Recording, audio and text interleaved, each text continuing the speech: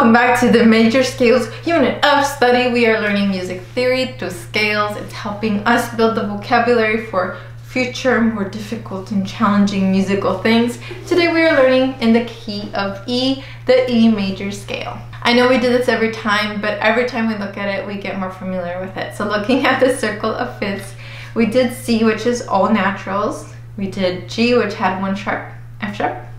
We did D, which had two sharps, F sharp and C sharp. We did A, which had three sharps, F sharp, C sharp, and oh my goodness, G sharp, there we go. And now we are doing the key of E, which of course has four sharps. Whew, I am out of breath. Now, okay, here, I'm gonna say something for like my absolute music theory nerds. If you look at the circle of fifths, starting from C, if you know the C major scale, C, D, E, F, G, that's five steps, right?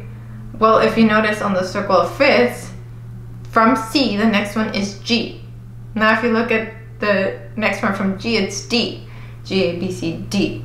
So the reason it's called fifths is because the notes on the circle of fifths are a fifth step difference from each other. So this way you can always predict which scale is coming next. If you forgot it, for example, like, wait, what's after C? Like, just count up five steps. C, D, E, F, G. G, A, B, C, D. D, E, F sharp, G, A. It's always a fifth apart. Okay, that's for the absolute nerds. If that just flew way over your head, that's okay. I promise you, if, you repeat the course, once you've absorbed this stuff, um, it'll make sense. So let's find E and start our scale. We have this open E, memorize the sound, and let's find it on our C string.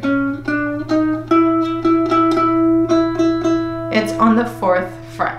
So let's start our scale. We want index, ring, index, middle, pinky, index, ring, pinky.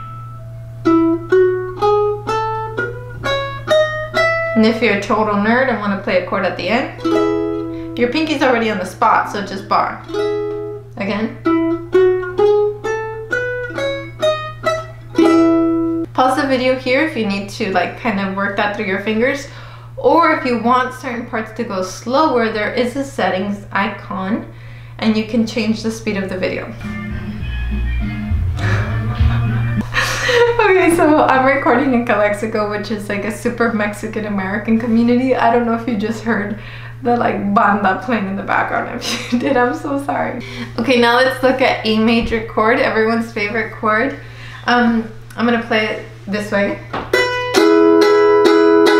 And looking at the scale, for this one we need an E, a G sharp, and a B because we're basing it off of the 1, 3, and 5. That gives us our major chord.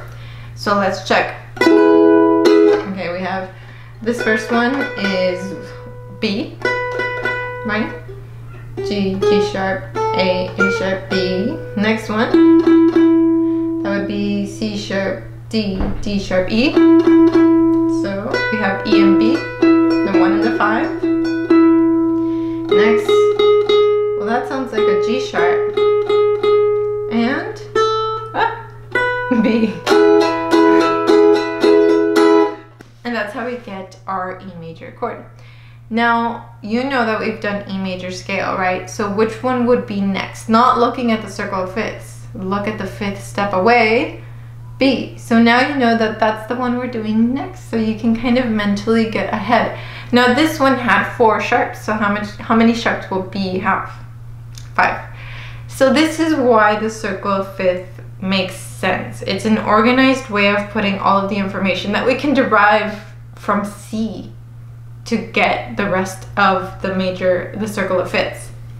Now, a test that we will have at the end of the course is one that I did in my music theory class, which was to draw the circle of fifths from scratch. And I will teach you how to do it first, and then we will have our own little test. But if you want to start kind of practicing the ones that you know already, that would really help. Alrighty, I will see you in the next one. Sayonara!